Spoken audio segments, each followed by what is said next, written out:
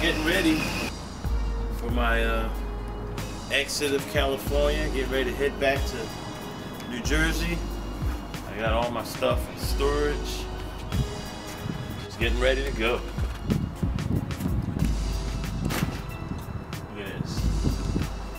This is my basically my California life. All packed up. I have no idea if I'll make it back and get it. End up being on one of them TV shows, uh, Storage Wars or something. Trust me, if someone came here, there's nothing really valuable.